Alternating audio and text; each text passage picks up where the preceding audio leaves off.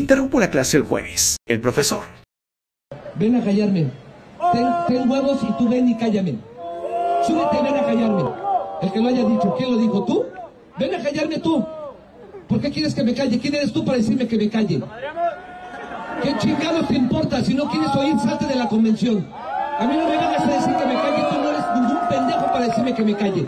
Si no estás a gusto, salte a la chingada o yo te saco. ¿Quieres ver que te saco? ¿Quieres ver que te saque? Muchísimas gracias, doy clases los jueves, no cobro mucho.